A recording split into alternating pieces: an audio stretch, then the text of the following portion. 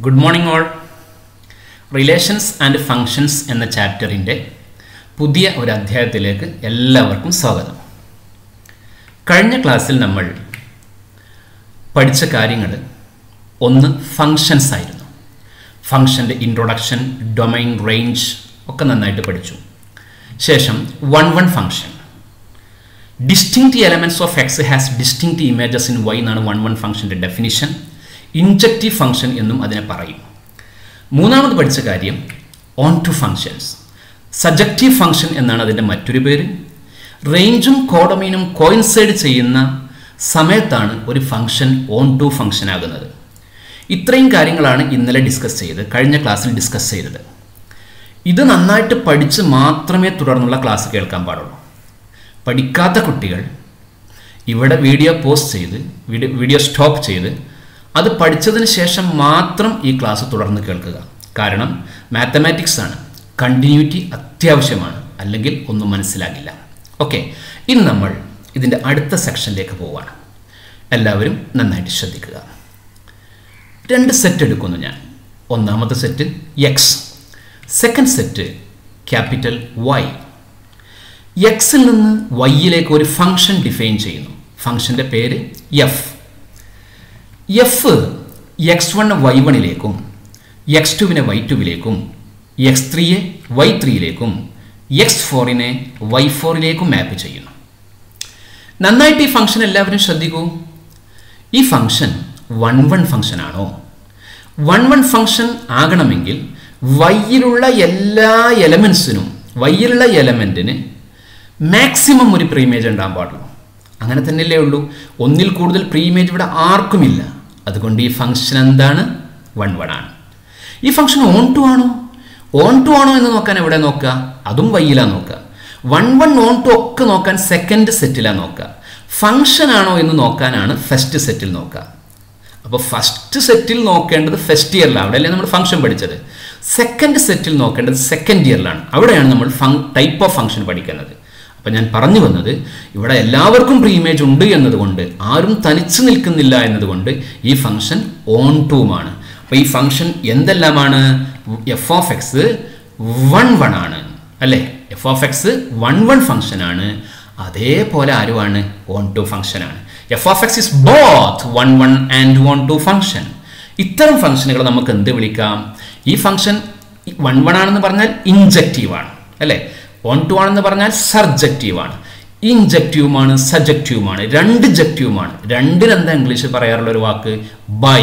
അപ്പം നമുക്ക് ഇതിനെന്ത് വിളിക്കാം? ബൈജക്റ്റീവ് ഫംഗ്ഷൻ അല്ലെങ്കിൽ one one and onto function എന്ന് വിളിക്കാം. Okay one one and one two function അല്ലെങ്കിൽ ബൈജക്റ്റീവ് ഫംഗ്ഷൻ എന്നാണ് ഇതിനെ നമ്മൾ വിളിക്കുക.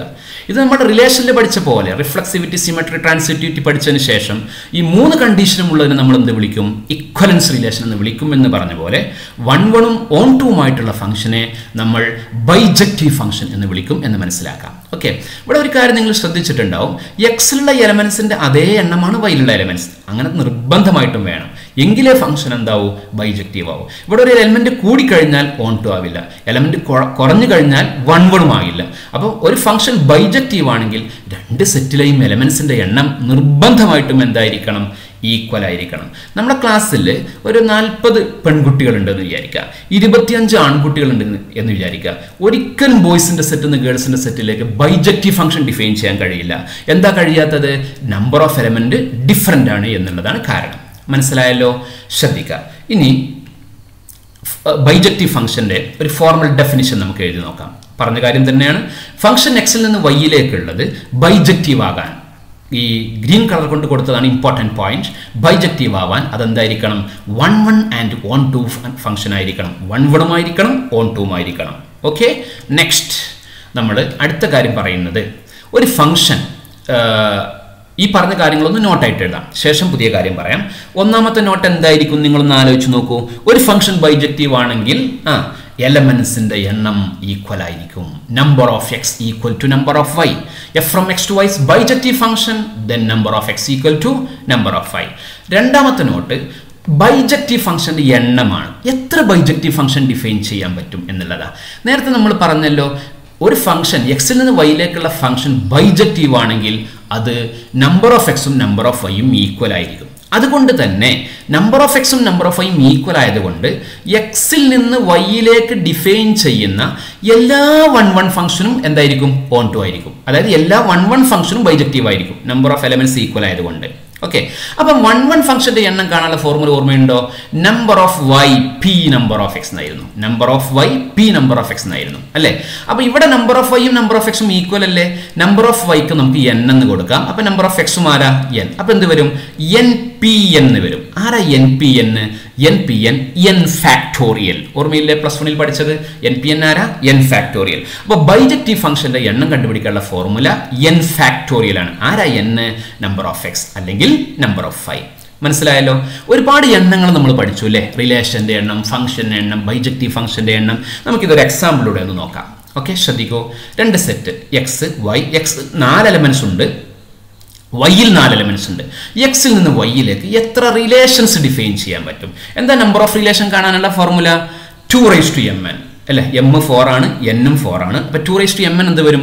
Two raise to four into four two raise to sixteen അപ്പൊ റിലേഷന്റെ എണ്ണം ടു റൈസ് ടു സിക്സ്റ്റീനാണ് എക്സ് നിന്ന് വൈയിലേക്കുള്ള റിലേഷന്റെ എണ്ണം ടു റൈസ് ടു ഫിഫ്റ്റീനാണ് സിക്സ്റ്റീനാണ് എത്ര ടു റൈസ് ടു സിക്സ്റ്റീൻ അറുപത്തി അയ്യായിരത്തി അഞ്ഞൂറ്റി മുപ്പത്തി ആറ് അല്ലെ? Sixty five thousand five hundred and thirty six അത്ഭുതം എന്ന് പറയാം അല്ലേ? ചില പെട്ടെന്ന് നമുക്ക് അത്ഭുതം തോന്നും. കാരണം എന്താ? നാല് എലമെന്റ് എന്നുള്ള സെറ്റിൽ നിന്ന് നാല് എലമെന്റ് ഉള്ള സെറ്റിലേക്കുള്ള റിലേഷനുകൾ ബന്ധങ്ങളുടെ എണ്ണം അറുപത്തി അയ്യായിരത്തി അഞ്ഞൂറ്റി മുപ്പത്തി ആറാണ് അല്ലേ? അതുകൊണ്ട് നല്ലോണം ശ്രദ്ധിക്കണം. എല്ലാവരുമായിട്ടൊന്നും ബന്ധം ഉണ്ടാകാൻ പാടില്ല പിന്നെ ബന്ധം ഉണ്ടാക്കാനേ നമുക്ക് സമയം ഉണ്ടാവുള്ളൂ ഓക്കെ. ശരി. ഇനി നമുക്ക് ഫംഗ്ഷന്റെ എണ്ണം നോക്കാം. ഈ സെറ്റിൽ നിന്ന് ഈ സെറ്റിലേക്ക് എത്ര ഫംഗ്ഷൻ ഡിഫൈൻ ചെയ്യാൻ പറ്റുമെന്ന് നോക്കാം. എന്താ ഫംഗ്ഷൻ എണ്ണം കാണാനുള്ള ഫോർമുല ഓർമ്മയുണ്ടോ? പഠിക്കണം പഠിപ്പിക്കുന്ന കാര്യങ്ങൾ നന്നായിട്ട്. എന്തായിരുന്നു ഫംഗ്ഷന്റെ കാണാൻ എണ്ണം കാണാനുള്ള ഫോർമുല മനസ്സിൽ വന്നോ? Number of Y power number of X എത്ര number of Y four number of X four അപ്പൊ എന്താ ആൻസർ കിട്ടുക? ഫോർ പവർ ഫോർ ആരാ ഫോർ പവർ ഫോർ ഇരുന്നൂറ്റി അൻപത്തി ആറ് ഈ ആരാ ഇരുന്നൂറ്റി അൻപത്തി ആറ് ഫംഗ്ഷൻ ഈ അറുപത്തി അയ്യായിരത്തി അഞ്ഞൂറ്റി മുപ്പത്തി ആറ് റിലേഷൻ എലമെന്റ്സ് ആണ് ഓക്കെ ആകെ അറുപത്തി അയ്യായിരത്തി അഞ്ഞൂറ്റി മുപ്പത്തി ആറ് റിലേഷൻ ഉണ്ടാകുമെന്ന് പറഞ്ഞല്ലോ. അതിൽ ഇരുന്നൂറ്റി അൻപത്തി ആറെണ്ണം മാത്രമാണ് ഫംഗ്ഷൻ ബാക്കിയുള്ളതൊന്നും ഫംഗ്ഷൻ അല്ല വെറും റിലേഷനുകൾ മാത്രമാണ്. ഇനി എത്ര ബൈജക്റ്റീവ് ഫംഗ്ഷൻ ഉണ്ടാവും നോക്കാം. ബൈജക്റ്റീവ് ഫംഗ്ഷൻ ഡിഫൈൻ ചെയ്യാൻ പറ്റും. കാരണം നമ്പർ ഓഫ് എലമെന്റ്സ് ഈക്വൽ ആണ്. എത്ര ബൈജക്റ്റീവ് ഫംഗ്ഷൻ ഉണ്ടാവും പറയാം എന്തായിരുന്നു ഫോർമുല ഫോർ ഫാക്ടോറിയൽ അല്ലേ? ഫോർ ഫാക്ടോറിയൽ ബൈജക്റ്റീവ് ഫംഗ്ഷൻ എണ്ണം കാണാനുള്ള ഫോർമുല ഫോർ ഫാക്ടോറിയൽ എന്താ ഫോർ ഫാക്ടോറിയൽ ട്വന്റി ഫോർ അല്ലെ? ട്വന്റി ഫോർ നോക്കൂ ഇരുന്നൂറ്റി അൻപത്തി ആറ് ഫംഗ്ഷനുകളിൽ ഇരുപത്തിനാലെണ്ണം മാത്രമാണ് ബൈജക്റ്റീവ് ഫംഗ്ഷൻ മനസ്സിലായോ? ബാക്കി ഇരുന്നൂറ്റി മുപ്പത്തി രണ്ടും ബൈജക്റ്റീവ് ഫംഗ്ഷൻ അല്ല. അറുപത്തി അയ്യായിരത്തി അഞ്ഞൂറ്റി മുപ്പത്തി ആറ് റിലേഷനിൽ ഇരുപത്തിനാലെണ്ണം ബൈജക്റ്റീവ് ഫംഗ്ഷൻ ആണ്. ഇരുന്നൂറ്റി അൻപത്തി ആറെണ്ണം വെറും ഫംഗ്ഷൻ ആണ്. ഇതാണ് ആകെയുള്ള റിലേഷന്റെ എണ്ണം. ഇങ്ങനൊക്കെ പരസ്പരം മനസ്സിലാക്കി പഠിക്കണം. അപ്പോഴാണ് മാത്തമാറ്റിക്സിന്റെ പഠിത്തം വളരെ ഇൻട്രസ്റ്റിംഗ് ആവുക. ഓക്കെ ഇനി നമുക്ക് അടുത്ത പോയിന്റിലേക്ക് പോകാം. ശ്രദ്ധിക്കൂ ഞാനിവിടെ ഒരു ടെസ്റ്റ് പറയാൻ പോകുക എന്താ അതിന്റെ പേര്? Horizontal line test. എന്തിനാ ഈ ഹൊറിസോണ്ടൽ ലൈൻ ടെസ്റ്റ് ഉപയോഗിക്കുക? കഴിഞ്ഞ ക്ലാസ് പഠിച്ചിട്ടുണ്ടല്ലോ. ഇൻജക്ടിവിറ്റിയും സജക്ടിവിറ്റിയും പറയാൻ വേണ്ടി. അപ്പം നമുക്ക് ടോട്ടലായിട്ട് ബൈജക്ടിവിറ്റി പറയാൻ നമുക്ക് എങ്ങനെയാണ് ഈ ടെസ്റ്റ് ഉപയോഗിക്കുക നോക്കാം. ഒന്നുമില്ല ബൈജക്ടിവിറ്റി പറയണമെങ്കിൽ ആദ്യം ഇൻജക്റ്റീവ് ആണോ നോക്കണം പിന്നെ സജക്റ്റീവ് ആണോ നോക്കണം. ഓക്കെ ഇൻജക്റ്റീവും സർജക്റ്റീവും ആകുമ്പോഴാണല്ലോ ബൈജക്റ്റീവ് ആ രണ്ടും ഒരുമിച്ച് ചെക്ക് ചെയ്യണമെന്നേ ഉള്ളൂ. ഓക്കെ നമുക്കൊന്ന് നോക്കാം. ഒരു ഫംഗ്ഷൻ ഞാൻ എടുത്തു Y equal F of X function എവിടെ എടുക്കാൻ പാടുള്ളൂ? ആ ഫംഗ്ഷൻ ബൈജക്റ്റീവ് ആണോ നോക്കുന്നത്. ഇത് വൈ ഈക്വൽ എക്സ് ഇതിനെക്കുറിച്ച് നമ്മൾ നേരത്തെ പറഞ്ഞിട്ടുണ്ട്. വൺ വൺ ആണ് വൺ ടു ആണെന്നൊക്കെ പറഞ്ഞിട്ടുണ്ട്. ഓക്കെ നമുക്ക് ഒന്ന് ടെസ്റ്റ് പെട്ടെന്ന് ടെസ്റ്റ് ചെയ്യും. മുമ്പ് പറഞ്ഞ കാര്യമായതുകൊണ്ട് ഒരുപാട് സമയം എടുക്കുന്നില്ല ഓക്കെ ശ്രദ്ധിക്കും. ഇത് വൺ വൺ ആണോ എന്ന് നോക്കാൻ. എന്താ നമ്മൾ ചെയ്യേണ്ടത്? ഈ ഇതാണ് ഹൊറിസോണ്ടൽ ലൈൻ കണ്ടല്ലോ? ഹൊറിസോണ്ടൽ ലൈൻ നമ്മൾ എന്ത് ചെയ്യണം? മൂവ് ചെയ്യിക്കണം. ഓക്കെ ഹൊറിസോണ്ടൽ ലൈൻ എങ്ങനെ മൂവ് ചെയ്യിക്കണം? അങ്ങനെ മൂവ് ചെയ്യുമ്പോൾ എന്താ നമ്മൾ നോക്കേണ്ടത്? വൺ വൺ ആകണമെങ്കിൽ മാക്സിമം ഒരു പോയിന്റിൽ ടച്ച് ചെയ്യാൻ ചെയ്യുമ്പോൾ ടച്ച് ചെയ്യണമെന്ന് നിർബന്ധമൊന്നുമില്ല. ഓക്കെ മാക്സിമം ഒരു പോയിന്റ് നോക്കി എപ്പോഴും ഒരു പോയിന്റിലല്ലേ ടച്ച് ചെയ്യുന്നുള്ളൂ. മാക്സിമം ഒരു പോയിന്റിലല്ലേ ടച്ച് ചെയ്യുന്നുള്ളൂ. അതുകൊണ്ട് വൺ വൺ ആകാൻ വേണ്ട കണ്ടീഷൻ ഇവിടെ ഓക്കെയാണ് വൺ വൺ ആകാൻ horizontal line touches the graph at maximum one point okay ചുരുക്കി എഴുതിയിട്ടുള്ളൂ. മാക്സിമം ഒരു പോയിന്റ് ടച്ച് ചെയ്യാൻ പാടുള്ളൂ. അതിവിടെ ഓക്കെ ആണല്ലോ. അല്ലേ? ഇനി ഓൺ ടു ആണോ നോക്കാനോ? ടെസ്റ്റ് ഇത് തന്നെ. ചെയ്യേണ്ടത് ഇത് തന്നെ പക്ഷെ നോക്കേണ്ടത് അതല്ല. നോക്കേണ്ടത് എന്താ അറിയോ? ഒരു പോയിന്റിലെങ്കിലും ഫുൾ ടൈം ടച്ച് ചെയ്യുന്നില്ലേനാ ടച്ച് ചെയ്യുന്നുണ്ടല്ലോ. ഒരു ഒരു പോയിന്റിലെങ്കിലും ഗ്രാഫിനെ എപ്പോഴും ടച്ച് ചെയ്യുന്നുണ്ട് അല്ലേ? അതായത് ഫംഗ്ഷൻ ഓൺ ടു ആണോ എന്ന് നോക്കാൻ വേണ്ടിയിട്ട് നമ്മൾ നോക്കേണ്ടത് horizontal line touches minimum one point ഒരു പോയിന്റിലെങ്കിലും ടച്ച് ചെയ്യണം. ഇത് ഒരു പോയിന്റിലേ ടച്ച് ചെയ്യാവൂ. ഇതോ രണ്ടാമത്തേതോ? ഒരു പോയിന്റിലെങ്കിലും ടച്ച് ചെയ്യണം. തീർച്ചയായിട്ടും ഇത് എപ്പോഴും ഒരു പോയിന്റിലെങ്കിലും ടച്ച് ചെയ്യുന്നുണ്ട് അല്ലേ? അതുകൊണ്ട് ഈ ഫംഗ്ഷൻ ഓൺ ടു ആണ്. വൈക്കൽ എക്സ് വൺ വൺ ആണ് ഓൺ ടു ആണ് അതായത് ബൈജക്റ്റീവ് ഫംഗ്ഷൻ ആണ്. ചെരിഞ്ഞു വരുന്ന എല്ലാ ലൈൻസും ഒബ്ലീക്ക് ലൈൻസ് എന്നാണ് അതിന് പറയുക. അതെല്ലാം വൺ വണ്ണും ഓൺ ടു ആണ്. അപ്പൊ നമുക്ക് ഇത് രണ്ടുകൂടെ കമ്പൈൻ ചെയ്തുകൊണ്ട് എന്ത് പറയാം? മാക്സിമം വണ്ണ് മിനിമം വൺ എന്ന് പറഞ്ഞതിന്റെ അർത്ഥം എന്താ മക്കളെ? എക്സാക്ട്ലി വൺ അല്ലെ? എക്സാക്ട്ലി വൺ പോയിന്റ് ബൈജക്റ്റീവ് ആകണമെങ്കിൽ ഹൊറിസോണ്ടൽ ലൈന് ഗ്രാഫിനെ ഒരൊറ്റ പോയിന്റിൽ മാത്രമേ ഫുൾ ടൈം ടച്ച് ചെയ്യാൻ പാടുള്ളൂ. അതുകൊണ്ട് നമ്മുടെ വൈ ഈക്വൽ ടു എക്സ് എന്നുള്ള ഫംഗ്ഷൻ എന്ത് ഫംഗ്ഷനാണ് ബൈജക്റ്റീവ് ഫംഗ്ഷനാണ് ഓക്കെ ഇനി നമുക്ക് മറ്റൊരു ഫംഗ്ഷൻ നോക്കാം. എക്സ് സ്ക്വയറിലേക്ക് പോവാം. ഓക്കെ എക്സ് സ്ക്വയർ എന്നുള്ള ഫംഗ്ഷൻ നോക്കി. ഇതാണ് എക്സ് സ്ക്വയർ അല്ലെ? ഈ എക്സ് സ്ക്വയർ എന്നുള്ള ഫംഗ്ഷൻ വൺ വൺ ആണോ? നിങ്ങൾ പറ. എക്സ് സ്ക്വയർ എന്നുള്ള ഫംഗ്ഷൻ വൺ വൺ ആണോ? എക്സ് സ്ക്വയർ വൺ വൺ എന്ന് നോക്കുമ്പോൾ നമുക്ക് എന്ത് മനസ്സിലാവും? നോക്കും ഈ- ഈ നൃത്തം കണ്ടാൽ തന്നെ മനസ്സിലാവും. രണ്ട് സ്ഥലത്ത് ടച്ച് ചെയ്യുന്നുണ്ട്. ഹൊറിസോണ്ടൽ ലൈൻ ഗ്രാഫിനെ രണ്ട് സ്ഥലത്ത് ടച്ച് ചെയ്യുന്നുണ്ട്. രണ്ട് സ്ഥലത്ത് ടച്ച് ചെയ്താൽ വൺ വൺ ആവോ? ഇല്ല. കാരണം എന്താ? Horizontal line maximum one point touch ചെയ്യാൻ പാടുള്ളൂ. ഈ ഫംഗ്ഷൻ വൺ വൺ അല്ല. ഈ ഫംഗ്ഷൻ മാത്രമാണ് വൺ വൺ അല്ലാത്തത്? ഒറ്റ പരാബോളി വൺ വൺ അല്ല. ഈ പരാബോള മാത്രമാണോ ഇങ്ങനത്തെ വൺ വൺ അല്ലാത്തത്? അല്ല. ആദ്യം ഡിക്രീസിങ് പിന്നെ ഇൻക്രീസിങ് അല്ലെങ്കിൽ ആദ്യം ഇൻക്രീസിങ് പിന്നെ ഡിക്രീസിങ് വരുന്ന ഒരു ഗ്രാഫുകളും എന്തല്ല? വൺ വൺ അല്ല ഇതൊക്കെ വളരെ ബ്യൂട്ടിഫുൾ ആയിട്ട് നമ്മൾ അപ്ലിക്കേഷൻ ഓഫ് ഡിഫറൻസിയേഷനിൽ വിശദീകരിക്കുന്നുണ്ട് കേട്ടോ അവിടെ ഇതൊക്കെ പറയുമ്പോൾ ഈ കാര്യങ്ങളൊക്കെ നിങ്ങളെ മനസ്സിലുണ്ടായിരിക്കണേ. അപ്പോൾ ഈ ഫംഗ്ഷൻ വൺ വൺ അല്ല ഇനി നമുക്കിത് ഓൺ ടു ആണെന്ന് നോക്കാം. ഓൺ ടു ആണെന്ന് നോക്കാൻ വേണ്ടി നമുക്ക് പതുക്കെ താഴെ കൊണ്ടുവരാം. ഓക്കെ എന്താ സംഭവിച്ചത്? ഇവിടെ ഈ ഈ ഹൊറിസോണ്ടൽ ലൈൻ ഗ്രാഫിനെ ടച്ച് ചെയ്യുന്നുണ്ടോ? ഇല്ല. ഓൺ ടു ആവാൻ എന്ത് വേണം? മിനിമം വൺ പോയിന്റ് ടച്ച് ചെയ്തിരിക്കണം. ഇവിടെ ടച്ച് ചെയ്യുന്നില്ലല്ലോ. ടച്ച് ചെയ്യാത്തത് കൊണ്ട് ഇതെന്ത് ഫംഗ്ഷന്റെ അല്ല? ഓൺ ടു ഫംഗ്ഷന്റെ അല്ല. ഈ പരാബോള ഓൺ ടു അല്ല. ഒരു പരാബോളയും ഓൺ ടു അല്ല. ഇങ്ങനെ ഡിക്രീസിംഗിൽ നിന്ന് ഇൻക്രീസിംഗിലേക്ക് പോയി തിരിച്ചു വരാത്ത ഒരാളും നമുക്ക് എന്താന്ന് പറയാൻ പറ്റില്ല? ഓൺ ടു ആണ് എന്ന് പറയാൻ പറ്റില്ല. അപ്പൊ ഈ ഫംഗ്ഷൻ വൺ വൺ അല്ല ഓൺ ടു അല്ല. അതുകൊണ്ട് ഈ ഫംഗ്ഷൻ ബൈജക്റ്റീവ് അല്ല. ബൈജക്റ്റീവ് അല്ല എന്ന് പറയാൻ വേണ്ടി വൺ വൺ അല്ല എന്ന് മാത്രം പറഞ്ഞാലും മതി. എന്തായാലും ഈ ഫംഗ്ഷൻ വൺ വൺ അല്ല ഓൺ ടു അല്ല. അതുകൊണ്ട് ബൈജക്റ്റീവ് അല്ല. നമുക്കൊരു കാര്യം ചെയ്ത് നോക്കാം. ഈ എക്സ് സ്ക്വയർ അങ്ങ് മാറ്റിയിട്ട് നമുക്ക് എക്സ് ക്യൂബ് കൊടുത്ത് ഓക്കെ എക്സ് ക്യൂബ് എന്നുള്ള ഫംഗ്ഷന്റെ വൺ വൺ ഓൺ ടു നമുക്കൊന്ന് ചെക്ക് ചെയ്ത് നോക്കാം. ഓക്കെ എസ് ക്യൂബ് ഇങ്ങനെ വരാം ഈ ഫംഗ്ഷൻ വൺ വൺ ആണോ? കൃത്യമാണ് അല്ലേ? എപ്പോഴും ഒരു പോയിന്റിൽ അല്ലേ? മാക്സിമം ഒരു പോയിന്റിലല്ലേ ടച്ച് ചെയ്യുന്നുള്ളൂ? വൺ വൺ ആണ്. വൺ ടു ആണ് നോക്കൂ എപ്പോഴും ടച്ച് ചെയ്യുന്നുണ്ടല്ലോ. അപ്പോൾ എസ് ക്യൂബ് ആരാ? ബൈജറ്റീവ് ഫംഗ്ഷൻ ഇൻട്രസ്റ്റിംഗ് അല്ലേ? എസ് ക്യൂബ് ബൈജറ്റീവ് ഫംഗ്ഷനാണ് ഓക്കെ ഇനി നമുക്ക് എസ് ക്യൂബ് മാറ്റി എക്സ് റേസ് ടു ഫോർ കൊടുത്തു നോക്കാം. Okay X raise X raise to four ഞാനൊന്ന് കൊടുത്തു നോക്കി. എക്സ് റേസ് ടു ഫോർ കൊടുക്കുന്ന സമയത്ത് ഇങ്ങനെ ഗ്രാഫ് വരുന്നത്. ഗ്രാഫിന്റെ സ്ട്രക്ചറിൽ വരുന്ന മാറ്റങ്ങൾ ശ്രദ്ധിക്കുന്നുണ്ടോ? എസ് സ്ക്വയറും എസ് ക്യൂബ് ഒക്കെ വരുമ്പോൾ ശ്രദ്ധിക്കുന്നുണ്ടോ? ഇനി എസ് റേസ് ടു ഫൈവ് ഒക്കെ നിങ്ങൾക്ക് കൊടുത്തു നോക്കാം. ഞാൻ വീഡിയോയുടെ ലെങ്ത് കുറയ്ക്കാൻ വേണ്ടി ഒരുപാട് ചുരുക്കുന്നുണ്ട് കേട്ടോ. അപ്പോൾ ഇവിടെ വൺ വൺ അല്ലാന്ന് മനസ്സിലായല്ലോ? മുകളിൽ രണ്ട് പോയിന്റ് ടച്ച് ചെയ്യുന്നുണ്ട്. വൺ വൺ അല്ലാന്ന് മനസ്സിലായല്ലോ? താഴേക്ക് വരുമ്പോൾ ടച്ച് ചെയ്യാത്തതുകൊണ്ട് ഓൺ ടു അല്ലാന്ന് മനസ്സിലായല്ലോ? അപ്പോൾ എസ് റേസ് ടു ഫോർ എന്തല്ല? വൺ വൺ അല്ല ഓൺ ടു അല്ല. പ്രോബ്ലം സെക്ഷൻ ഇതൊക്കെ വരുന്നുണ്ട്. അപ്പോൾ ഇതൊക്കെ നിങ്ങൾ ഓർത്ത് വെക്കണം. ഓക്കെ അപ്പോൾ ഈ ഫംഗ്ഷൻ ഒന്നും ഈ function one one onto അല്ല. അപ്പോൾ ഈ കാര്യങ്ങളൊക്കെ നിങ്ങൾക്ക് മനസ്സിലായിട്ടുണ്ടാവും. ഇനി നമുക്ക് അറിയാവുന്ന ഒരുപാട് ഫംഗ്ഷൻ ഇല്ലേ? നമുക്ക് ഫസ്റ്റ് ഇയർ പഠിച്ചിട്ടുള്ള സ്റ്റാൻഡേർഡ് ഫംഗ്ഷനുകൾ ഞാൻ പറഞ്ഞിരുന്നു ഫസ്റ്റ് ഇയർ പഠിച്ചാണ് ഇത് തുടങ്ങേണ്ടതെന്ന്. ഓക്കെ അതിന്റെ ബൈജക്ടിവിറ്റി ഒന്ന് നമുക്ക് പരിശോധിച്ചു ആദ്യം മനസ്സിൽ കാണാം എന്നിട്ട് ചിത്രം കാണാവും. Modulus function okay absolute value function അല്ലെങ്കിൽ മൊഡ്യൂലസ് ഫംഗ്ഷൻ ഈ മൊഡ്യൂലസ് ഫംഗ്ഷൻ വൺ വൺ ആണോ വൺ ടു ആണോ? എന്താ മൊഡ്യൂലസ് ഫംഗ്ഷന്റെ ഗ്രാഫിന്റെ ഷേപ്പ് വി ഷേപ്പ് അല്ലേ? ഒന്ന് ആലോചിച്ച് നോക്ക്. വൺ വൺ ആണോ? അല്ല. വൺ ടു ആണോ?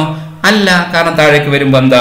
താഴേക്ക് വരുന്ന സമയത്ത് ടച്ച് ചെയ്യില്ല ഓക്കെ നമുക്ക് അതിന്റെ ഗ്രാഫ് ഒന്ന് നോക്കാം. അബ്സല്യൂട്ട് വാല്യൂ ഫംഗ്ഷന്റെ ഗ്രാഫ് ഇങ്ങനെയല്ലേ വരിക? അല്ലേ? എന്താ സംഭവിക്കണം ഇവിടെ ടച്ച് ചെയ്യുന്നില്ലല്ലോ? അതുകൊണ്ട് ഓൺ ടു അല്ല. മുകളിലേക്ക് വരുമ്പോൾ നോക്കൂ. മുകളിലേക്ക് വരുമ്പോൾ രണ്ട് പോയിന്റ് ടച്ച് ചെയ്യുന്നു അല്ലേ? ഇവിടെ ടച്ചിങ് ഇവിടെ പോയിന്റ് ഉണ്ട്. അവിടെ പോയിന്റ് വേണമെങ്കിൽ നമുക്ക് ഇങ്ങനെ കാണിച്ചു കൊടുക്കാൻ പറ്റും. ഇവിടെ കാണുന്നില്ല. അപ്പോൾ നമുക്ക് ഒരു ഇന്റർസെക്ട് കൊടുത്തു കഴിഞ്ഞാൽ ഇതാ ആ പോയിന്റ് ഇവിടെ വരും കേട്ടോ ആ പോയിന്റ് ഇത് രണ്ടുകൂടെ ഇന്റർസെക്ട് ചെയ്യുന്ന പോയിന്റ് ആണ്. അവിടെ വരും. അപ്പോൾ രണ്ട് പോയിന്റ് ടച്ച് ചെയ്യുന്നുണ്ട്. അതുകൊണ്ട് വൺ വൺ അല്ല. നേരത്തെ പറഞ്ഞു വൺ ടു അല്ല. ഇങ്ങനെ എല്ലാ ഫംഗ്ഷനും നിങ്ങൾക്ക് നോക്കാം. സിഗ്നം ഫംഗ്ഷൻ എല്ലാം ഞാൻ ചെക്ക് ചെയ്യുമ്പോൾ സമയം ഒരുപാട് കൂടും. സിഗ്നം ഫംഗ്ഷൻ നോക്കാം. പിന്നെ ഐഡിയ പിന്നെ റെസിപ്രോക്കൽ ഫംഗ്ഷൻ നോക്കാം. ഗ്രേറ്റസ്റ്റ് ഇന്ത്യർ ഫംഗ്ഷൻ നോക്കാം. എന്താ greatest integer function one one ആണോ? അല്ല.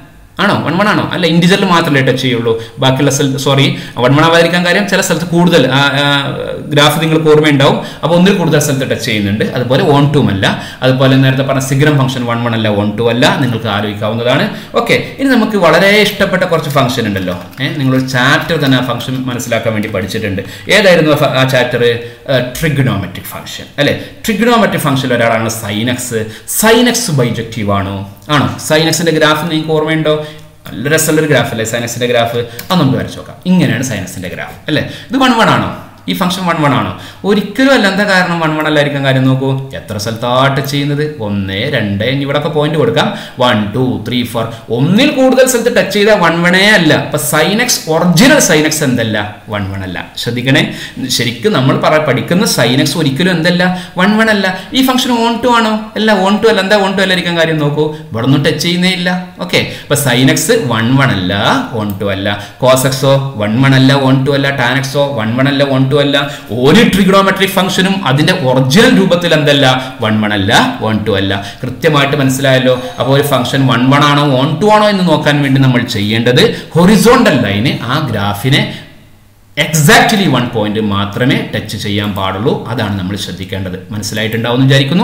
നമ്മൾ അടുത്ത പോയിന്റിലേക്ക് പോകുന്നു. ഓക്കെ എക്സിൽ നിന്ന് വൈയിലേക്ക് ഒരു ഫംഗ്ഷൻ ഉണ്ട്. എക്സിൽ നിന്ന് വൈയിലേക്ക് ഒരു ഫംഗ്ഷൻ ഈ ഫംഗ്ഷൻ ബൈജക്റ്റീവ് ഫംഗ്ഷനാണ് ശ്രദ്ധിക്കണേ. പെട്ടെന്ന് പറയാം. ഈ ഫംഗ്ഷൻ ബൈജക്റ്റീവ് ഫംഗ്ഷനാണ് നോക്കൂ ഈ ഫംഗ്ഷൻ ബൈജക്റ്റീവ് ആയതുകൊണ്ട് ഈ ഫംഗ്ഷന്റെ ജോലി എന്താ? എക്സ് വൺ വൈ വൺ ആക്കുക എക്സ് ടുവിനെ വൈ ടു ആക്കുക. ഫംഗ്ഷൻ എന്ന് പറഞ്ഞ അർത്ഥം എന്താ നിങ്ങൾക്ക് അറിയോ? ജോലി ചെയ്യുക എന്നാണ്. ഓക്കെ ഓപ്പറേഷൻ ഫംഗ്ഷൻ എന്നുള്ള വാക്കുന്നതാണ് ഫംഗ്ഷൻ ഉണ്ടായത്. ഈ ഫംഗ്ഷൻ ഒരു ജോലി ചെയ്യുന്ന ആളാണ് ജോലി എക്സ് വൺ വൈ വൺ ആക്കുക എക്സ് ടുവിനെ വൈ ടു ആക്കുക എക്സ് ത്രീ വൈ ത്രീ ആക്കുക എക്സ് ഫോറിനെ വൈ ഫോർ ആക്കുക. ഇതാണ് ജോലി.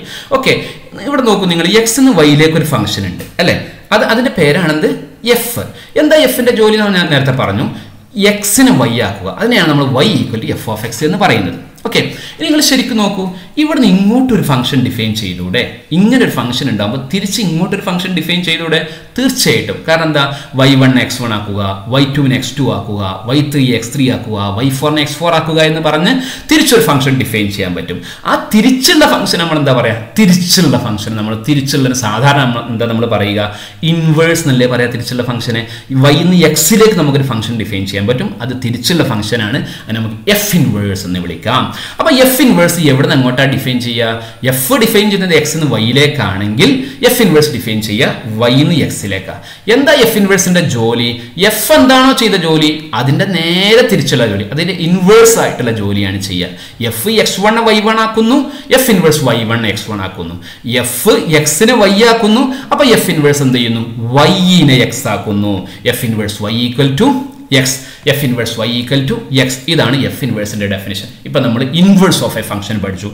അപ്പൊ ഒരു ഫംഗ്ഷന്റെ ഇൻവേഴ്സ് എന്ന് പറഞ്ഞാൽ എന്താണെന്ന് മനസ്സിലായല്ലോ? എഫിന്റെ ജോലി എന്താണോ അത് നേരെ തിരിച്ചു ചെയ്യുന്ന ഫംഗ്ഷൻ നമ്മൾ പറയുന്ന പേരാണ് എഫിന്റെ ഇൻവേഴ്സ് ഇനി വളരെ പ്രധാനമായിട്ടൊരു കാര്യം ഞാൻ ഇവിടെ പറയാൻ പോവാണ്. നല്ലോണം ശ്രദ്ധിക്കണേ. ഈ ഫംഗ്ഷൻ ബൈജക്റ്റീവ് ആണോ ആണോ? അല്ല. എന്താ ബൈജക്റ്റീവ് അല്ലാത്തത് രണ്ട് കാരണങ്ങൾ പറയാം. ഒന്നുകിൽ വൈ ഫോറിന് പ്രീമേജ് ഇല്ല. അല്ലെങ്കിൽ വൈ ത്രീക്ക് രണ്ട് പ്രീമേജ് ഉണ്ട്. അതെന്തായാലും ബൈജക്റ്റീവ് അല്ല നിങ്ങൾക്ക് കഴിയോ? വൈ എക്സിലേക്ക് ഒരു ഫംഗ്ഷൻ ഡിഫൈൻ ചെയ്യാൻ? അതായത് ഈ ഫംഗ്ഷൻ ഒരു ഇൻവേഴ്സ് ഡിഫൈൻ ചെയ്യാൻ കഴിയോ? വൈ എക്സിലേക്ക് ഒരു ഫംഗ്ഷൻ ഡിഫൈൻ ചെയ്യാൻ നിങ്ങൾക്ക് കഴിയോ? നിങ്ങൾ ഡിഫൈൻ ചെയ്യാൻ ശ്രമിക്കുമ്പോൾ വൈ വൺ എക്സ് വൺ ഒക്കെ ആക്കും. വൈ ടു എക്സ് ടു ആക്കും. വൈ ത്രീ എന്താക്കും? രണ്ടാളാക്കും. രണ്ടാളാക്കാൻ പറ്റും. ഒരൊക്കെ രണ്ട് ഇമേജ് ഉണ്ടായി കഴിഞ്ഞാൽ അത് ഫംഗ്ഷൻ ആവോ? മാത്രമല്ല വൈ ഫോറിന് ഇമേജേ ഇല്ലല്ലോ ഫംഗ്ഷൻ ആവോ? ഇല്ല. അപ്പൊ ഈ സെറ്റിൽ നിന്ന് ഈ സെറ്റിലേക്ക് ഈ രൂപത്തിൽ ഈ സെറ്റ് ഈ സെറ്റിലേക്ക് മീൻസ് ഈ ഫംഗ്ഷന് എഫ് എന്നുള്ള ഫംഗ്ഷന് എക്സ് എന്ന് വൈയിലേക്കുള്ള ഈ പുതിയ ഫംഗ്ഷൻ നേരത്തെ ഫംഗ്ഷൻ അല്ല ഈ ഫംഗ്ഷന് ഇൻവേഴ്സ് ഉണ്ടാക്കാൻ കഴിയില്ല. എന്താ ഇൻവേഴ്സ് ഉണ്ടാക്കാൻ കഴിയാത്തത്? ഈ ഫംഗ്ഷൻ എന്തല്ല?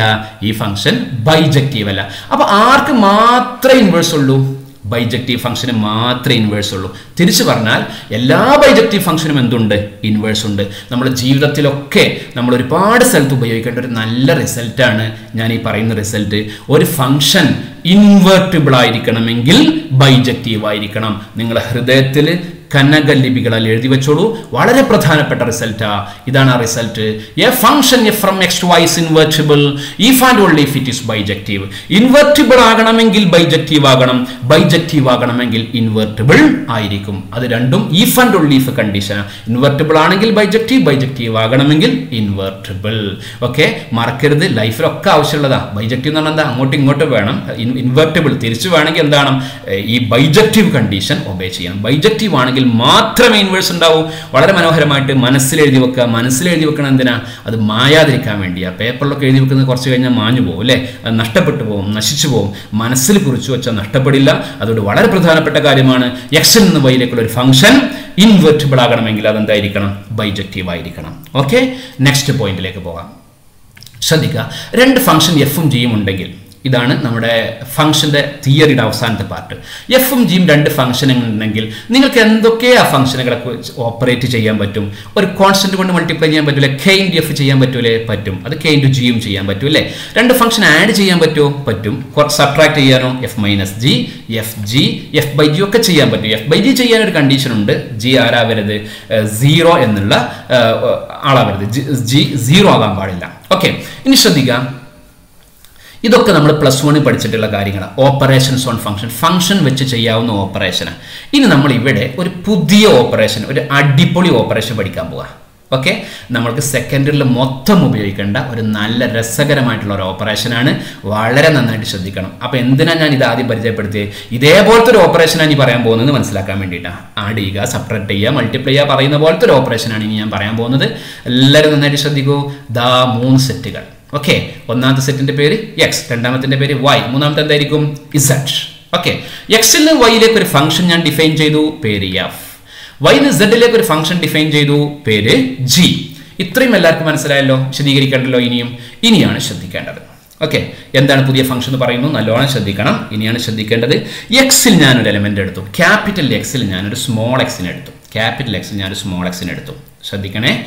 ക്യാപിറ്റൽ എക്സിൽ ഒരു ആർബിറ്റററി എലമെന്റ് ആണ് സ്മോൾ എക്സ് എഫ് എന്താ? എക്സ് എന്ന് വൈയിലേക്കുള്ള ഒരു ഫംഗ്ഷനാണ് അപ്പോൾ സ്വാഭാവികമായിട്ടും ഈ എഫ് എക്സിനെ ഇങ്ങോട്ട് മാപ്പ് ചെയ്യൂലേ? മാപ്പ് ചെയ്തില്ലെങ്കിൽ ഫംഗ്ഷൻ ആവില്ലല്ലോ? അപ്പോൾ എക്സിന് ഒരു എലമെന്റ് ഇപ്പുറത്തുണ്ടാവും. ഇവിടെ ഉണ്ടാകുന്ന ഉറപ്പുള്ള എലമെന്റ് ആരാ? ഇവിടെ ത്രീ ഉണ്ടാവുന്ന ഉറപ്പുണ്ടോ? ഉണ്ടോ? ഫൈവ് ഉണ്ടാവുന്ന ഉറപ്പുണ്ടോ? ഇല്ല. പിന്നെ ഇവിടെ ഉണ്ടാവുന്ന ഉറപ്പുള്ള എലമെന്റ് ആരാ? എഫ് എക്സിനെ ഇങ്ങോട്ട് മാപ്പ് ചെയ്യുന്ന എലമെന്റ് ആണല്ലോ. അത് നമുക്ക് എന്ത് വിളിക്കാം? ഒന്ന് ആലോചിച്ച് നോക്കൂ. ഏതായിരിക്കും ഇവിടെ ഉണ്ടാവുന്ന ഉറപ്പുള്ള എലമെന്റ് ഇവിടെ നിന്ന് ഇങ്ങോട്ട് എഫ് എന്നുള്ള ഫംഗ്ഷൻ ഉണ്ടെങ്കിൽ ഏതാ? ഉണ്ടാവുന്ന ഷുവർ ഉള്ള എലമെന്റ് ആരാ? യെസ് ദാറ്റ് ഈസ് നിങ്ങൾ മനസ്സിൽ പറഞ്ഞത് തന്നെ F of X okay F of X ആണ് ഇവിടെ ഉണ്ടാവുക അല്ലേ? ഇനി എഫ് ഓഫ് എക്സ് എന്നുള്ളത് എവിടുത്തെ എലമെന്റാ വൈയിലുള്ള എലമെന്റ് ജിയോ വൈന്ന് സെഡിലേക്കുള്ള ഫംഗ്ഷൻ ജി വെറുതെ നിൽക്കുമോ അവിടെ ഒരു എലമെന്റ് ഉണ്ടാവുമ്പോൾ ഇല്ലല്ലോ. ജി എന്ത് ചെയ്യും? എഫ് ഓഫ് എക്സ് എങ്ങോട്ട് മാപ്പ് ചെയ്യൂലേ? എഫ് ഓഫ് എക്സിനെ ഈ സെറ്റിലേക്ക് മാപ്പ് ചെയ്യും. അപ്പൊ ഇവിടുത്തെ ആ എലമെന്റ് ആരായിരിക്കും? ജി എഫ് ഓഫ് എക്സിന് മാപ്പ് ചെയ്യുന്നത്. എഫ് എക്സിന് മാപ്പ് ചെയ്യുമ്പോൾ എഫ് ഓഫ് എക്സ് നല്ല കിട്ടുക? അപ്പൊ ജി എഫ് ഓഫ് എക്സിന് മാപ്പ് ചെയ്യുമ്പോൾ എന്താ കിട്ടുക? പറയൂ. G of F of X okay G of F of X ആയിരിക്കും കിട്ടുക അല്ലേ? ഒന്നുകൂടെ പറയാം. ഇവിടെ ഒരു എക്സ് ഉണ്ടെങ്കിൽ ഇവിടെ എഫ് ഓഫ് എക്സ് നിർബന്ധമായിട്ടുണ്ടായിരിക്കും. ഇവിടെ എഫ് ഓഫ് എക്സ് ഉണ്ടെങ്കിൽ ഇവിടെ G of X G of F of X നിർബന്ധമായിട്ടുണ്ടായിരിക്കും. ചുരുക്കി പറഞ്ഞാൽ ഇവിടെ ഒരു എക്സ് ഉണ്ടെങ്കിൽ എക്സിൽ ഒരു എക്സ് ഉണ്ടെങ്കിൽ ഇസഡിൽ ഒരു G of F of X ഉണ്ടാവും. എക്സിൽ ഒരു എക്സ് ഉണ്ടെങ്കിൽ ഇസഡിൽ ഒരു G of F F of X ഉണ്ടാവും. എന്ന് പറഞ്ഞതിന്റെ അർത്ഥം എന്താ? എക്സിൽ നിന്ന് ഇസഡിലേക്ക് ഒരു ഫംഗ്ഷൻ ഉണ്ട്.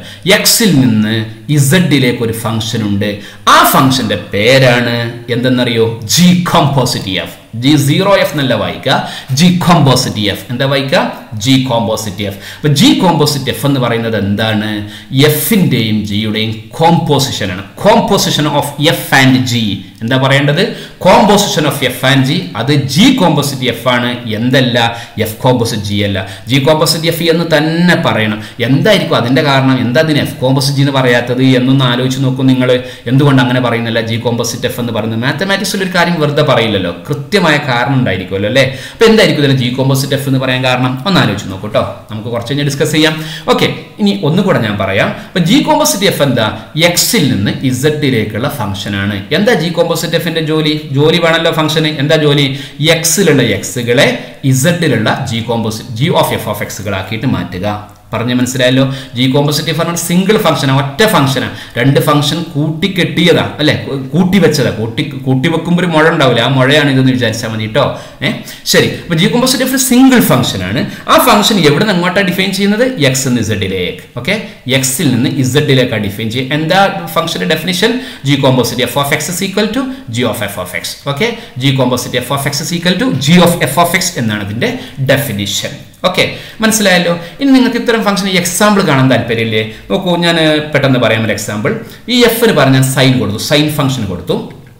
ജിക്ക് പറഞ്ഞ കോസ് ഫംഗ്ഷൻ കോസ് എന്നുള്ള ഫംഗ്ഷൻ കൊടുത്തു. എന്നിട്ട് ഞാൻ എക്സാമ്പിൾ ആണ് ഇതിന്റെ ഡെഫിനിഷൻ കഴിഞ്ഞു. ഈ എക്സാമ്പിൾ പറയണം. ഇത്തരം ഫംഗ്ഷൻ നിങ്ങൾക്ക് കണ്ണുകൊണ്ട് കാണാൻ നേരിട്ട് കാണാനുള്ള ഒരു അവസരം. ഓക്കെ അപ്പം ഞാൻ ഫസ്റ്റ് സെറ്റിൽ ഒരു എക്സ് എടുത്തു. ഈ സൈൻ ഇവിടെ വെറുതെ നിൽക്കുക എക്സിനെ കാണുമ്പോൾ എക്സിനെ എന്താക്കി മാറ്റും? സൈൻ പറയൂ. സൈൻ എക്സ് ആക്കി മാറ്റും. സൈൻ എക്സ് ഒരു നമ്പറാണ് അല്ലേ? ഈ സൈൻ എക്സിനെ കോസ് എക്സ് കോസ് എന്താക്കി മാറ്റും? കോസ് സൈനക്സ് ആക്കി മാറ്റും അല്ലെ? കോസ് സൈനക്സ് കോസ് സൈൻ നിങ്ങൾ കേട്ടിട്ടുണ്ടോ ഇങ്ങനത്തെ ഒരു ഫംഗ്ഷൻ മുമ്പ്?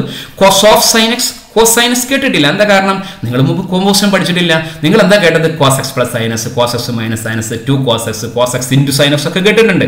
കോസ് ഓഫ് സൈനക്സ് അല്ലെങ്കിൽ കോസ് സൈനസ് കേട്ടിട്ടില്ലല്ലോ. ഈ കോസ് സൈനക്സിനെയാണ് നമ്മൾ കോമ്പോസിഷൻ ഓഫ് പറയും sine x and cos x എന്ന് പറയുന്നത്. സൈനക്സിന്റെയും കോമ്പോ കോസെക്സിന്റെയും കോമ്പോസിഷനാണ് കോസെക്സ് ഇവിടെ സൈനക്സിന്റെയും കോസക്സിന്റെയും കോമ്പോസിഷൻ എടുക്കുമ്പോൾ ആദ്യം ആരാ പറയുന്നത്? കോസ്. ആരാ കോസ്? ജി. പിന്നെ ആരാ പറയുന്നത്? സൈൻ. ആരാ സൈൻ? എഫ്. ഓക്കെ? ആദ്യം ജി പിന്നെ എഫ്. അതായിരിക്കും എന്ന് പറയാൻ കാരണം? G composite F. ആദ്യം ജിയും പിന്നെ എഫ് അല്ലേ? എഫും ജിയും കമ്പോസ് ചെയ്തപ്പോൾ പറയുമ്പോൾ ആദ്യം ആരാ വരുന്നത്? ജി വരുന്നു പിന്നെ എഫ് വരുന്നു. അതായിരിക്കും എന്തിന്റെ കാരണം? ജി കോമ്പോസിറ്റ് എഫ് എന്ന് പറയാനുള്ള കാരണം. ഓക്കെ? ശരി ഇനി മറ്റൊരു എക്സാമ്പിൾ കൂടി നോക്കാം. ഇത് റേസ്റ്റ് ഫോർ ആണ്. റേസ്റ്റ് ഫോർ എന്ന് വെച്ചാൽ ഒരു നമ്പറിന്റെ fourth power okay F G എന്നുള്ള function log function log X അപ്പോൾ ഇവിടെ ഒരു എക്സ് ഉണ്ടെങ്കിൽ പെട്ടെന്ന് പറയാം അല്ലെ? എക്സിനെ ഈ റേസ്റ്റ് ഫോർ എന്താക്കി മാറ്റും പറ? എക്സ് റേസ്റ്റ് ഫോർ ആക്കി മാറ്റും. ഞാൻ പറയുന്നതിന് മുന്നേ ഒന്ന് പറഞ്ഞു നോക്കണേ. എക്സ് റേസ്റ്റ് ഫോറിന് ലോഗ് എന്താക്കി മാറ്റും? Log log X raised four ആക്കി മാറ്റും. Log of X raised four log G ആണ് എക്സ് റേസ്റ്റ് ഫോർ എഫ് ആണ്. ജി കോമ്പോസിറ്റ് എഫ് പറഞ്ഞപ്പോൾ ജി ആണ് ആദ്യം പറഞ്ഞത് കേട്ടോ. അപ്പോൾ അതുകൊണ്ടായിരിക്കും ഈ പേര് വരാനുള്ള കാരണം ഞാൻ നേരത്തെ പറഞ്ഞു. അപ്പോൾ log of X raised four നിങ്ങൾ ഇതുവരെ കേൾക്കാത്ത ഫംഗ്ഷൻ ആണ്. അതിനെയാണ് നമ്മൾ കോമ്പോസിറ്റ് ഫംഗ്ഷൻ എന്ന് പറയാം. അപ്പോൾ ഒരു ഫംഗ്ഷന്റെ അകത്ത് കയറ്റി വെക്കുക മറ്റൊരു ഫംഗ്ഷൻ അതിനെയാണ് കമ്പോസ് ചെയ്യുക അല്ലെങ്കിൽ കോമ്പോസിറ്റ് ഫംഗ്ഷൻ എന്ന് പറയുക. നന്നായിട്ട് മനസ്സിലാക്കാൻ ശ്രമിക്കുക. ഓക്കെ കുറച്ച് എക്സാമ്പിൾ നോക്കാം നമുക്ക്. ഇത്തരം ഫംഗ്ഷൻ കുറച്ച് example tan of X square plus one of എപ്പോഴും പറയണമെന്നില്ല. ടാൻ സ്ക്വയർ പ്ലസ് വൺ എന്ന് പറഞ്ഞാലും മതി. Okay tan of X square plus one ആരാണ് ജി ആരാണ് എഫ് എന്ന് പറഞ്ഞു നോക്കൂ. ജി ആരായിരിക്കും? ടാൻ ആരാണ് F S square plus one ഞാൻ നേരത്തെ വരച്ച ചിത്രം ഉണ്ടല്ലോ. അതുപോലെ നിങ്ങളൊന്ന് ചിത്രം വരച്ചതൊന്ന് സമർത്ഥിച്ചു നോക്കൂ. ഓക്കെ രണ്ടാമത്തത് ലോഗ് സൈനക്സ് മറ്റൊരു എക്സാമ്പിളാണ് മൂന്നാമത്തെ സൈനസ് റേസ്റ്റ് കോസസ് ഇതൊക്കെ നമ്മളെ സ്റ്റാർ ഫിഗേഴ്സ് ആണ് കേട്ടോ ഇതൊക്കെ നമ്മൾ കുറച്ച് കഴിഞ്ഞാൽ ഡിഫറൻസിയേഷന് ഇന്റഗ്രേഷന് അതിലൊക്കെ നമ്മൾ ഇതൊക്കെ വെച്ച് ഒരുപാട് കാര്യങ്ങൾ ചെയ്യാനുണ്ട്. അപ്പോൾ അതിനൊന്ന് നേരത്തെ ഒന്ന് ഇൻട്രൊഡ്യൂസ് ചെയ്തതാണ്. ഇതൊക്കെ നിങ്ങൾക്ക് ഞാൻ നേരത്തെ ചിത്രം വരച്ച പോലെ ചിത്രം വരച്ചിട്ട് ഇതൊക്കെ കോമ്പോസിഷൻ ആണ് എന്ന് നിങ്ങൾക്ക് തെളിയിക്കാൻ പറ്റും. ഓക്കെ മനസ്സിലായല്ലോ? ഇനി നമുക്ക് ഇതിന്റെ ഡെഫിനിഷൻ ഒന്ന് എഴുതി നോക്കാം. പെട്ടെന്ന് പറയുന്നു എഫ് എക്സിൽ നിന്ന് വൈയിലേക്ക് നേരത്തെ വരച്ച ചിത്രം മനസ്സിലുണ്ടായിരിക്കണം. എക്സ് എന്ന് വൈയിലേക്ക് ജി വൈ എന്ന് സെഡിലേക്ക് കളർ കൊടുത്തേ കണ്ടോ? അടുത്ത ആൾ എവിടെ നിന്ന് ഡിഫൈൻ ചെയ്യുക ജി കോമ്പോസിറ്റ് എഫ് എന്നുള്ള ഫംഗ്ഷൻ എവിടെ നിന്നാണ് ഡിഫൈൻ ചെയ്യുക എക്സ് എന്ന് സെഡിലേക്ക് എക്സ് എന്ന് സെഡിലേക്ക് എന്താ അതിന്റെ ഡെഫിനിഷൻ അതിനെന്താ വിളിക്കുക ജി കോമ്പോസിറ്റ് എഫിനെ composition of F and G not G and F composition of F and G എന്നാണ് ഇതിനെ വിളിക്കുക. അതിന്റെ ഡെഫിനിഷൻ നേരത്തെ പറഞ്ഞു ഓർമ്മയുണ്ടല്ലോ? G composite F of X equal to G of F of X for every X in X for every X in X okay ശരി ഇതാണ് ഇതിന്റെ ഡെഫിനിഷൻ അപ്പൊ ഇതിന്റെ ഡെഫിനിഷൻ നമുക്കൊന്ന് ഉറക്കം ഒന്ന് പറഞ്ഞു നോക്കാം. എന്റെ കൂടെ പറയണേ G composite F of X is equal to G of F of X ഒന്നുകൂടി പറയും കാണാതെ പഠിക്കേണ്ട കാര്യമാണ്.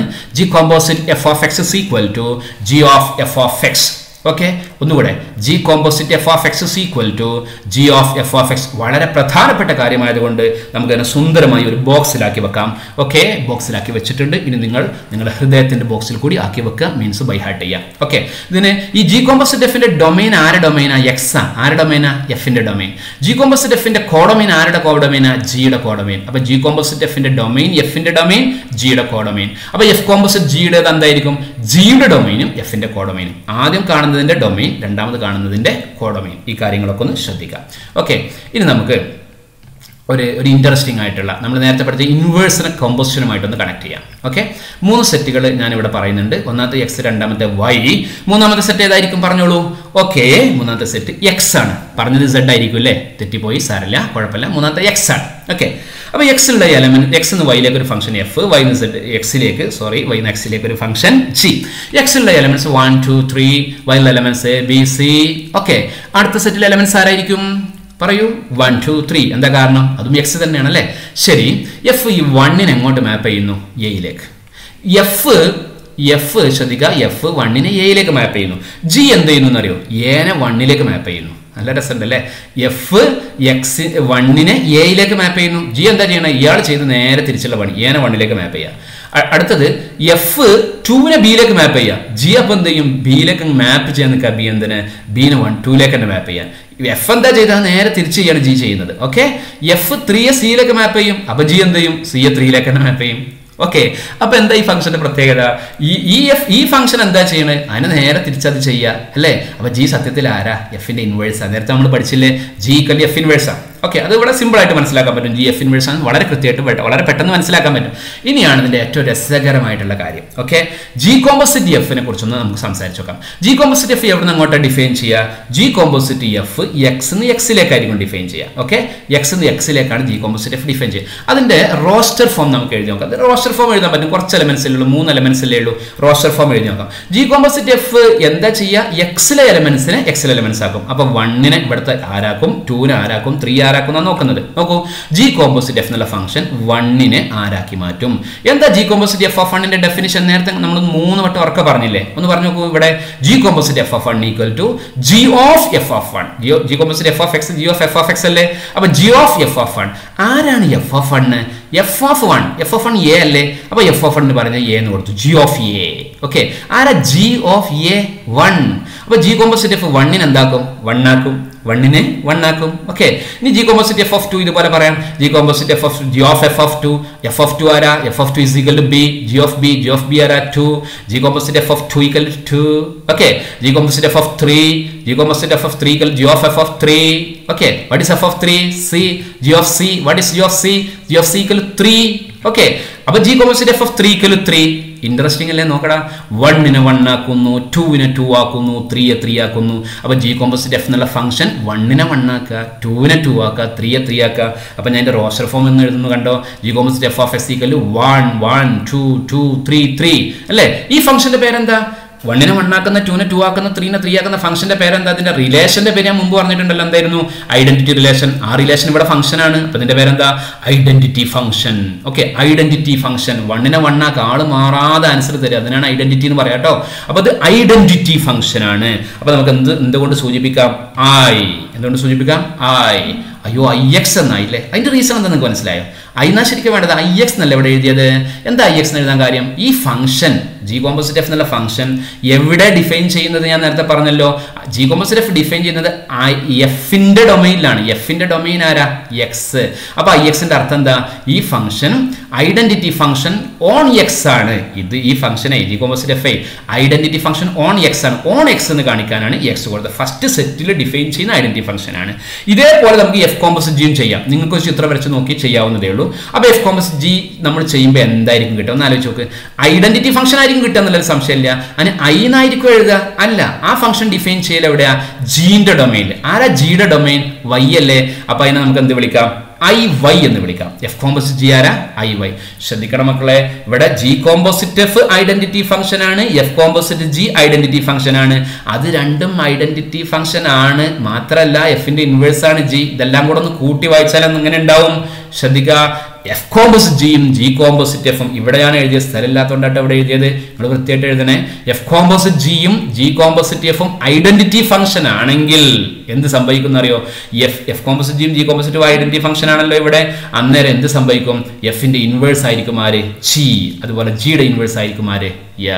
ബ്യൂട്ടിഫുൾ റിസൾട്ടാ ഓക്കെ ഫാന്റാസ്റ്റിക് റിസൾട്ട് ഇത് ഈ ഫംഗ്ഷന് മാത്രമല്ല സകല ബൈജക്റ്റീവ് ഫംഗ്ഷനും ഈ പറയുന്ന കാര്യം ശരിയാണ്. എന്ത്? എഫ് കോമ്പോസിറ്റ് ജിയും ജി കോമ്പോസിറ്റ് എഫും ഐഡന്റിറ്റി ഫംഗ്ഷനുകളാണെങ്കിൽ അവ പരസ്പരം ഇൻവേഴ്സുകളായിരിക്കും F inverse equal G and G inverse F equal to sorry G inverse equal F നമ്മുടെ ടെക്സ്റ്റ് ബുക്ക് നിങ്ങൾക്ക് നോക്കാം. അവിടെ ഈ ഇൻവേഴ്സ് ഫംഗ്ഷൻ ഇൻട്രൊഡ്യൂസ് ചെയ്യുന്നത് തന്നെ ഈ രൂപത്തിലാണ്. ഞാൻ നേരത്തെ പറഞ്ഞത് അങ്ങനെയായിരിക്കും നിങ്ങൾക്ക് കൂടുതൽ മനസ്സിലാകുക എന്ന് കരുതിയിട്ടാണ്. അപ്പോൾ ഇത് വളരെ പ്രധാനപ്പെട്ട പോയിന്റാണ് രണ്ട് ഫംഗ്ഷനുകൾ പരസ്പരം ഇൻവേഴ്സുകളാണെങ്കിൽ രണ്ട് ഫംഗ്ഷനുകൾ പരസ്പരം ഇൻവേഴ്സുകളാണെങ്കിൽ അവയുടെ കോമ്പോസിഷൻ ഐഡന്റിറ്റി ഫംഗ്ഷൻ ആയിരിക്കും. തിരിച്ചും പറയാം രണ്ട് ഫംഗ്ഷനുകളുടെ കോമ്പോസിഷൻ ഐഡന്റിറ്റി ഫംഗ്ഷനുകളാണെങ്കിൽ പരസ്പരം ഇൻവേഴ്സുകളായിരിക്കും ഇതൊക്കെ നമ്മൾ പ്രോബ്ലത്തിൽ ഉപയോഗിക്കുന്നുണ്ട്. മക്കൾ നല്ലോണം പഠിക്കണം. പഠിപ്പിക്കുന്നത് നന്നായിട്ട് പഠിക്കണം കേട്ടോ. ശരി ഇനി നമുക്ക് ഇന്നത്തെ ക്ലാസ് ഇവിടെ അവസാനിപ്പിക്കാം. ഇതോടെ ഫംഗ്ഷന്റെ തിയറി പാർട്ട് അവസാനിക്കുന്നു. നിങ്ങൾ ചെയ്യേണ്ട കാര്യം ആദ്യം എന്റെ ക്ലാസ് ഭംഗിയായിട്ട് കേൾക്കുക. ശ്രദ്ധാപൂർവം കേൾക്കുക. സിനിമ കാണുന്ന പോലെയല്ല ശ്രദ്ധാപൂർവം കേൾക്കുക. ഓക്കെ പിന്നെ ചെയ്യേണ്ടത് ഞാനൊരു നോട്ട് തരുന്നുണ്ട്. ആ നോട്ട് വൃത്തിയായിട്ട് നോട്ട്ബുക്കിൽ എഴുതിയെടുക്കുക. പി ഡി എഫ് നോട്ടായിരിക്കും അതന്നെ കീപ്പ് ചെയ്യരുത്. അത് എഴുതി വെക്കണം. എഴുതി വെച്ചാൽ മാത്രമേ നമ്മുടെ മനസ്സിലേക്ക് അത് പതിയുള്ളൂ. അതിനുശേഷം നോട്ട് വായിക്കുക. നോട്ട് എഴുതിയതിന് ശേഷം നോട്ട് വായിച്ച് പഠിക്കുക.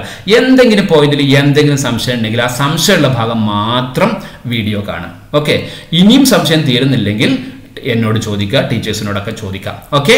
അതോട് ഇതോടുകൂടി ഇന്നത്തെ ക്ലാസ് അവസാനിക്കുന്നു. ക്ലാസ് കേട്ട എല്ലാവർക്കും ഒരുപാട് താങ്ക്സ് ഇനി അടുത്ത ക്ലാസ് ഇതിലെ പ്രോബ്ലം സെക്ഷനാണ് വളരെ വിനീതമായിട്ട് ഞാൻ പറയുകയാണ് തിയറി പഠിച്ചാൽ പ്രോബ്ലം മാത്തമാറ്റിക്സ് ബേസുള്ള ആൾക്ക് സ്വന്തമായിട്ട് ചെയ്യാം. അതുകൊണ്ട് എല്ലാവരും തിയറി നന്നായിട്ട് പഠിച്ചിട്ട് മാത്രമേ പ്രോബ്ലം ക്ലാസ്സിലേക്ക് വരാൻ പാടുള്ളൂ. ഓക്കെ? കാണുന്നതുവരെ ബൈ ബൈ